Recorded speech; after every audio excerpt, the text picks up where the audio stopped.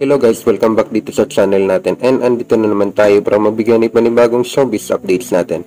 And for today, pag-uusapan nga natin tungkol nga kay Sian Lim.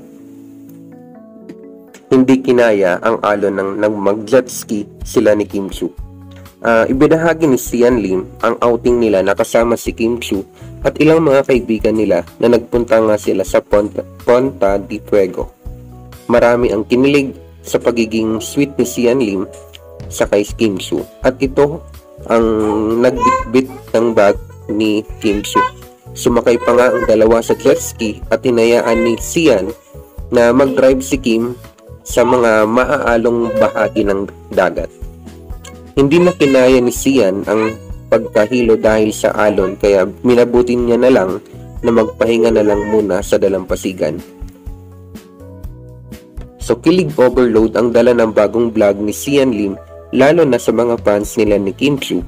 Pumasyal silang magkasintahan sa Ponta di Fuego, kasamang iilang mga kaibigan nila. Kapansin-pansin ang pagiging maalaga ni Sian kay Kim lalo nang magkita silang ng tagabitbit o naging tagabitbit si Sian sa mga gamit ni, ni Kim Chu. Sumakay din silang dalawa sa jet ski at si Kim ang talagang nag-uunang mag-drive ng jet ski. Gayunpaman, dahil sa sobrang maalon nga ng mga oras na yon, nahilo si Sian kaya minabuti na lamang niyang bumaba at magpahinga sa dalampasigan.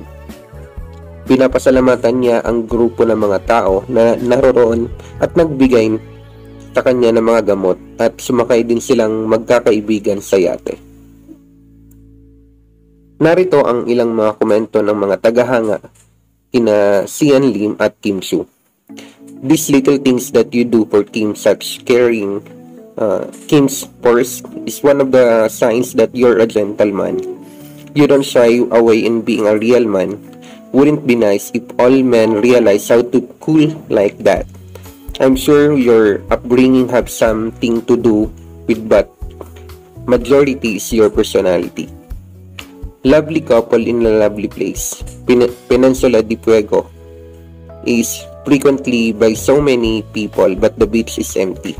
It seemed that they made a boat ride and went to the other side of the cove to a more uh, secluded area away from long beach of Ponta Fuego.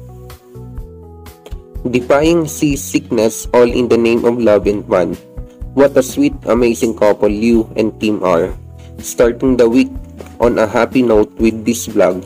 Thank you Sian for sharing. So, yun ang mga bagay na nasabi ng mga ilang mga tagahanga nila Kim Chu at Sian Lim.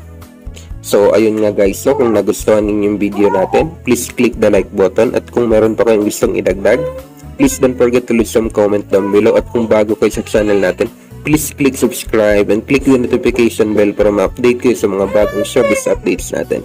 Again, thanks for watching. Bye!